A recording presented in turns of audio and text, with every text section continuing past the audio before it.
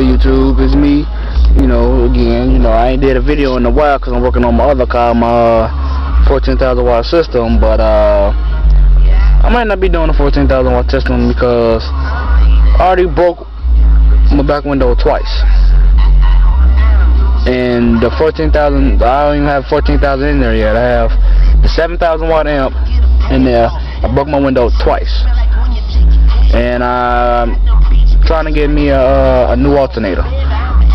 Well, I have the, I have a 200 amp alternator that's running good right now, but I have to get a new alternator if I'm planning on putting both of them in it. They're both putting about a good 250 amps. So either I'm gonna get that or I get a custom uh, dual alternator set, you know, made for the car. But what I'm gonna do now is uh, give y'all a preview of my Alero, the other car. You know, I'm driving right now with the factory radio.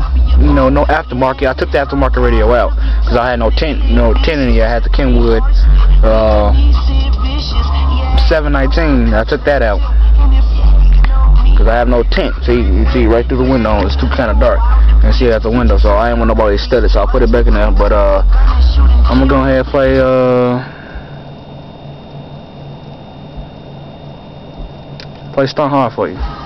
So let's listen to it. Oh, two 12s on the 2000 watt mono amp.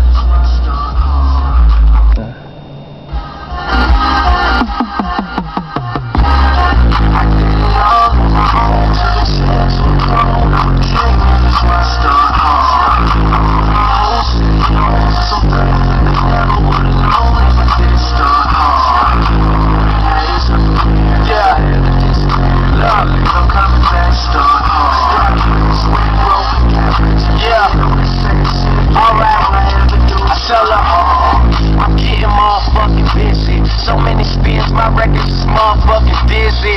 Haters wanna turn to their girl and be like, who is it? But I bet a million she tell you that's motherfucking Drizzy. And I'm focused on my survival. Keep an eye on the door and focus on my arrival. Who do you look up to when you're better than your idols? And how you supposed to look